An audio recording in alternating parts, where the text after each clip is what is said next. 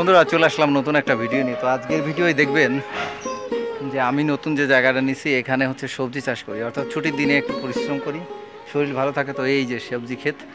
এখানে শাক হইছে, তারপর হচ্ছে ভেন্ডি হইছে, আর ওদিকে ওই যে কলা কলা কলা। কলা হয়েছে তো চলেন যা বাগানটা দেখাই।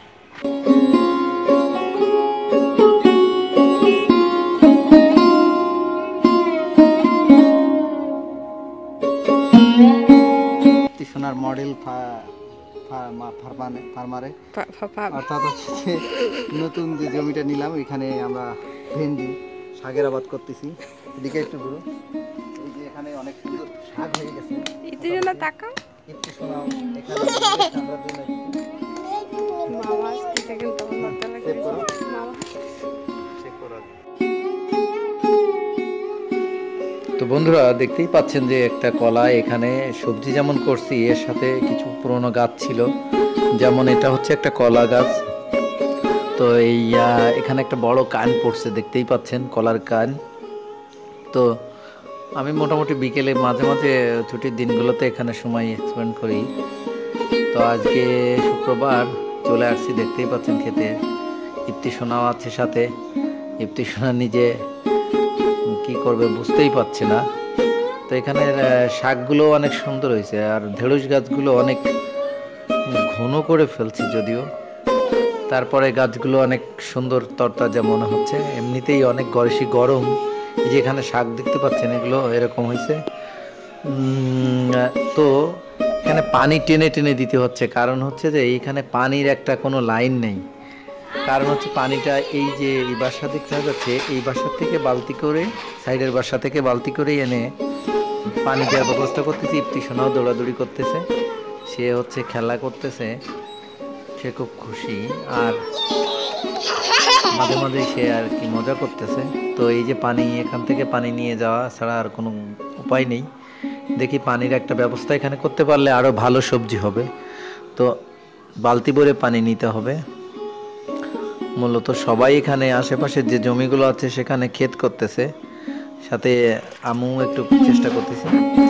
পানি দেওয়ার কারণ হচ্ছে এখন জানেন যে এই টাইমে খুব রোদ্দুর এবং মাটি টাটি শুকায় গেছে।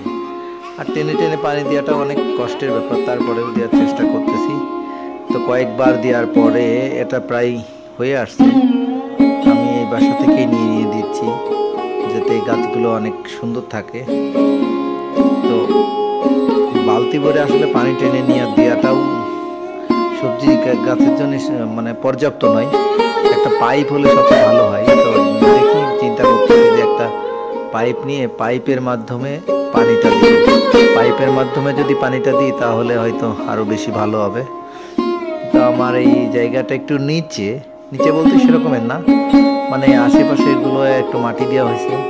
তাই মাটি দিই নাই আমি। আর এখানে এছাড়াও এমনি জঙ্গল হয়েছে অনেক দেখা যাচ্ছে। তো এইগুলো মিলিয়ে মোটামুটি শাকগুলো দেখেনি যে, শাকগুলো কিছুদিনের মধ্যে অনেক সবুজ হয়ে গেছে এবং ভালোই। দেখতে ভালো লাগে। আসলে এটা চাষ করলে যে খাওয়ার বিষয়টা সেটার থেকে সবচেয়ে বড় কথা হলো এটা দেখতে খুব মজা লাগে। এবং পানি আমি এই মাঝে মাঝে এসেই কারণ এক সপ্তাহ যখন থাকি না, এই পাঁচ ছয় দিন যদি বৃষ্টি না থাকে তাহলে শুকায় যাবে। ছিল ভিডিও, এখানে আর বেশি বলব না। সবাই ভালো থাকবেন, সুস্থ থাকবেন। আল্লাহ হাফেজ, দেখা হবে ইনশাল্লাহ